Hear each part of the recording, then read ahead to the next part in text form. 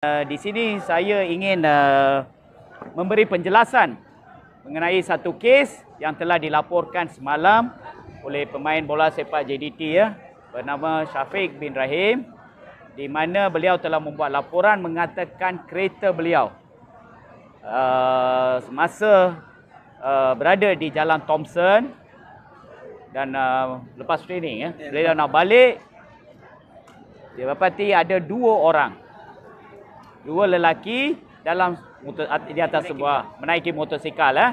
Menunggang sebuah motosikal telah mengentuk menggunakan tukul besi cermin belakang besar kereta Syafiq bin Rahim ni sebelah kanan belakang. Dan uh, selepas kejadian itu beliau tak dapat cam uh, orang atau motosikal nombor motosikal dan penyerang telah melarikan diri uh, Syafiq bin Rahim atau pengadu mangsa telah membuat laporan polis. Siasatan sedang dijalankan oleh Ibu Pejabat Polis Johor Bahru Selatan di bawah Seksyen 427 Kanun Keseksaan.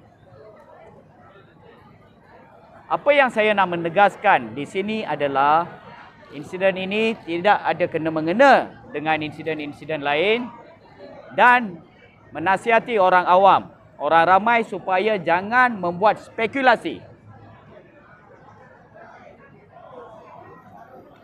mengenai ini kes ini dan biarlah polis menjalankan siasatan. Saya juga mengambil kesempatan di sini sebagai ketua polis negeri Johor saya memberi jaminan keselamatan kepada semua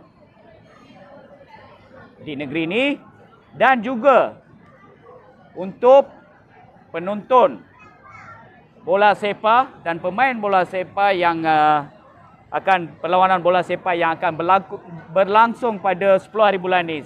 Piala Sumbangsi ini pihak polis memberi jaminan keselamatan. Kita telah mengatur gerakan lebih kurang seribu pegawai dan anggota polis untuk memastikan kelancaran lalu lintas dan keselamatan semua terjamin dan terjaga.